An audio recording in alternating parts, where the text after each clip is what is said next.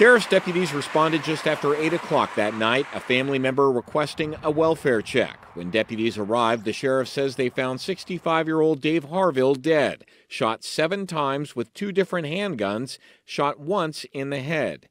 His wife, Pamela Sue, was questioned and arrested for the murder. She appeared in court Thursday for an arraignment and collapsed before the proceedings began. She was taken to the hospital to get checked out and is expected to be physically fine. She posted on her Facebook page back in 2018 a wedding picture with the inscription, Happy 40th, Dave Harville.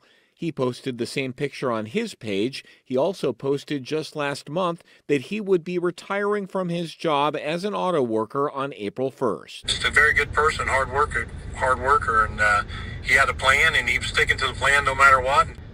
Actually, talked to him that his his last day there. I shook his hand, uh, congratulated him and he said he was going home to take care of his wife. I mean, that's what he said he was going to do. Dave Harville's retirement lasted one day before he was shot to death. Pamela Sue Harville's bond is now up to $250,000. She'll be back in court later this month. In Hamilton, this is David Winter reporting.